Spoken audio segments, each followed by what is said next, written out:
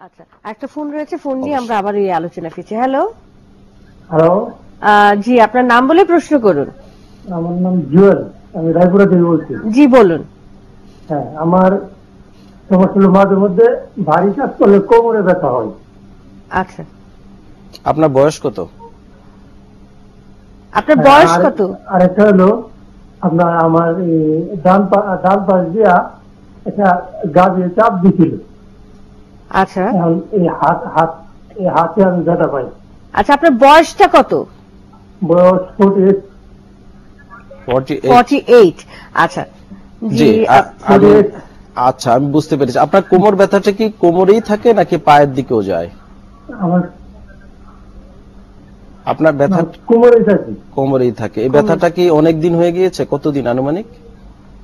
আমি যদি ভারী কাজ করি তাহলে ব্যথাটা আসে না। না কতদিন হয়েছে এরকম ব্যথা? প্রায় এক দুই বছর।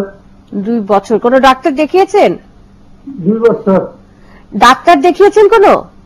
না। আচ্ছা আমি উত্তর আচ্ছা। দিচ্ছি। ওনার যেটা হচ্ছে যে বয়স উনিও দেখেন একটু এজ মিডল এজড পিপল আসলে এই বয়সেও আর্থ্রাইটিস ডেভেলপ করে এবং অস্ট্রিয়াথ্রাইটিস এবং অস্ট্রিয়াথ্রাইটিস এনাদার কজ কিন্তু হচ্ছে আপনার হচ্ছে ট্রমা যেটা উনি বলছিল যে আর একটা আঘাতও পেয়েছে।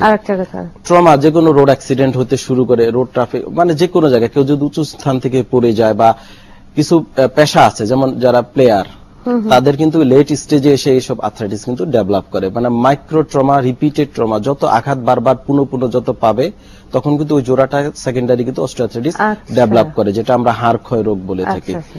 আর ওনার ক্ষেত্রে উনি যেটা হচ্ছে উনি যখন ভারী কাজ করে তখন এই ব্যথাটা হয়তো উনার আরও ইয়াং যখন ছিল সমস্যাটা ছিল না।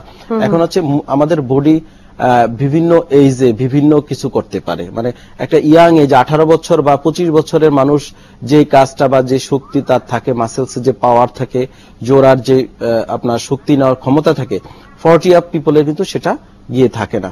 তারপরে দর্শক, আমি মনে করি আপনার একজন স্পেশালিস্টকে দেখানো দরকার। প্রয়োজনে আপনার মেরুদণ্ডের বা কোমরে যে ব্যথাটা হয়, ওখানে কিছু এক্স রে বা এমআরআই করলে আমরা খুব সহজে কোনো চেঞ্জ আছে কিনা, এটা আমরা বুঝতে পারব। আপনি ভারী কাজ যেহেতু প্রবলেম হয়, এটা আবার ভারী কাজ করার কিছু টেকনিক আছে। যেমন অনেক সময় সামনে ঝুঁকে ভারী কাজ করা, এগুলা করা যাবে না।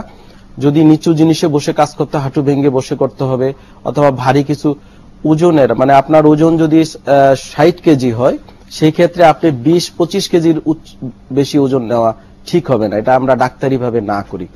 আর এখন একটু ব্যথায় গরম শেক দিয়ে দেখতে পারেন, বা ব্যথানাশক ক্রিম বা মলম যদি মার্কেটে পাওয়া যায়, কিনে ব্যবহার করে দেখতে পারেন। আশা করি উপকৃত হবেন এবং অবশ্যই একজন বিশেষজ্ঞের শরণাপন্ন হবেন। হ্যাঁ মানে যেই মলমটা ব্যবহার করবে এটা বিশেষজ্ঞ স্বর্ণপন্ন হয়ে তারপর করা উচিত। জি। একটা ফোন রয়েছে আমরা ফোনটা নিয়ে আসছি। হ্যালো। ওয়ালাইকুম আসসালাম আপনার নাম বলে প্রশ্ন করুন। আমিন রাজশাহী। জি বলুন। এজ ফর্টি ফাইভ আচ্ছা জি বলুন। আমার প্রবলেম হলো ওই ঘাড়ে ব্যথা করে। আচ্ছা। ঘাটটা টেনে ধরে আমি গ্রামীণ ডাক্তারদের দেখানোর পরে বলছি আমাদের এলাকার ডাক্তারদের। ওনারা বলে যে প্রেশারের কারণে এটা হয়। কিন্তু আসলে প্রেশার মেপে দেখা যায় এটা নর্মাল আছে। হয়তো কোনো প্রবলেম নেই। এটা এইভাবে চলছে দীর্ঘদিন থেকে।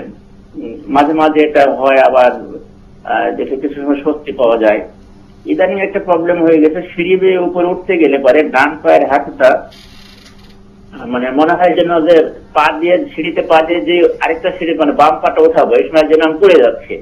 দেখাতে হাঁটুতে শক্তি পাচ্ছি না। ব্যালেন্সটা পাচ্ছেন না? জি জি। আচ্ছা। আচ্ছা আপনার ঘাড় ব্যথা? আচ্ছা জি আর আর কি প্রবলেম জি হবে আচ্ছা আচ্ছা জি আপনি আমাদের সাথেই থাকুন।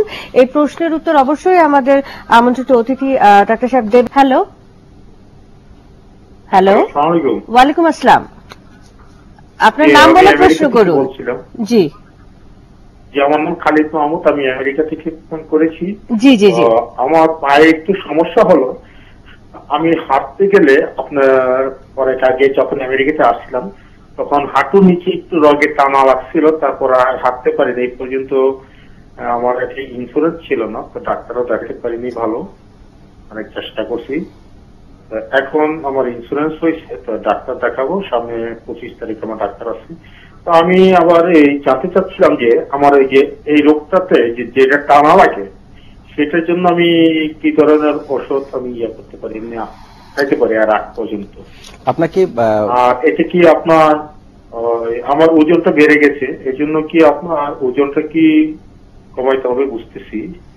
আচ্ছা আপনার এই ব্যথাটা আমি ওনাকে জানতে চাচ্ছিলাম যে আমি যখন ডাক্তারের সাথে কথা বলব আমার ডাক্তারের সাথে তখন আমি ওনাকে ডাক্তারকে এই জিনিসটা কীভাবে ব্যাখ্যা করব যে আমার পায়ের নিচে টানা লাগছে বা হাঁটতে লাগছে ব্যথা করে। আচ্ছা আপনার বয়স এবং হ্যাঁ, ওজনটা কত আপনার বয়স কত এবং আহ, আপনার এই যে টানা লাগে আমার বয়স এখন ফর্টি ফোর আপনার টানা লাগাটা কি আপনার হাঁটুর পিছনে না কাপ মাসেল যেটা আমরা যে মাংসপেশিতে হাঁটুর হ্যাঁ, হাঁটুর ঠিক নিচে পিছনে হাঁটুর হাঁটুর ঠিক পিছনে এবং ওই যে নিচে যে মাসকল Muscles-টাতে।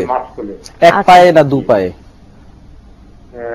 এটা এক পায়ে ডান পায়ে। আচ্ছা পাশাপাশি কি আপনার কোমর ব্যথা হয়? আহ, না এখন কোমর ব্যথা হয় না। আগে হতো। অনেক আগে ছিল।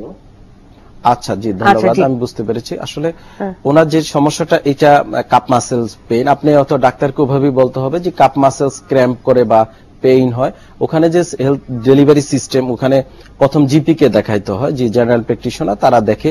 তারা যদি মনে করে ওষুধ দিয়ে এটা ম্যানেজ করার চেষ্টা করে বা কোনো ট্রিটমেন্ট দেয় দেন তারা রেফার করে দেয় স্পেশালিস্টের কাছে। সেক্ষেত্রে তো হয়তো তারা ফিজিওথেরাপিস্টের কাছে পাঠিয়ে দিতে পারে বা এনাদার মানে স্পেশালিস্ট উনি যদি মনে করে।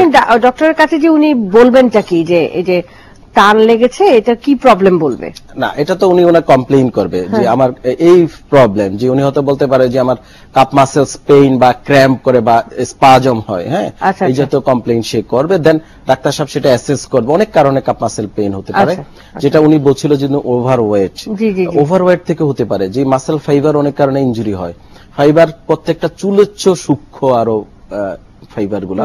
এক একটা ফাইবার যদি ছিঁড়েও যায় ভিতরে তাও কিন্তু আপনার এই জাতীয় ক্র্যাম্প হতে পারে এবং এই যে আচ্ছা। শীত ঋতুতে কিন্তু এই ক্র্যাম্পটা আরও অনেক সময় বেড়ে যায়। তো এই ক্ষেত্রে এটা উনি ওভাবে ব্যাখ্যা করতে পারে ডাক্তার সাহেবের কাছে। আর অনেক সময় কোমরের সমস্যা থেকে এটা আমরা আমি প্রোগ্রামের শুরুতেই বলছিলাম যে সায়াটিকা নামক একটা ব্যথা আছে বা বায়াত রোগ আছে যে সায়াটিক নার্ভে যদি কম্প্রেশন হয় সেক্ষেত্রে এক পায়ে রেফার্ড পেইন হতে পারে। অনেক সময় রোগী শুধু পায়ের ব্যথার কথাই বলবে কিন্তু আমরা ক্লিনিক্যালি যখন ডায়াগনোসিস করি দেখা যায় সমস্যাটা আসলে কোমর থেকে আসছে। তো ওই ক্ষেত্রে উনি যদি ওনার ডাক্তারের সাথে ওইভাবে কথা বললে আর এখন ওই গরম শেক খুব বেটার উপকারে আসতে পারে। আচ্ছা বিরতিতে যাবার আগে একজন দর্শকের প্রশ্ন ছিল ঘাড় ব্যথা এবং ওনার হাঁটু ব্যথার ক্ষেত্রে। ওই ওই রোগী যেটা বলছিল যে পাশাপাশি উনি প্রেসার অনেকবার মেপেছে কোনো প্রেসারে কিছু পায়নি। ডাক্তাররা বলছিল প্রেসারের সমস্যা। আসলে ঘাড় ব্যথার বেশিরভাগ যে কজগুলা সেক্ষেত্রে রোগীকে বুঝতে হবে যেমন যদি ঘাড় মুভমেন্টে পেইন হয় সাজেস ডানে বামে যখন সে ঘাড় নাড়াবে তখন যদি ঘাড়ে ব্যথা হয় এবং যদি দেখা যায় যে ভারী কিছু ক্যারি করতে বা মাথায় নিলে বা হাতে ওজন করলে ব্যথা বেড়ে যায় তাহলে বুঝতে হবে এটা মাস্কুলো স্কেলেটাল ব্যথা মানে হাড়ের এবং মাংসের ব্যথা।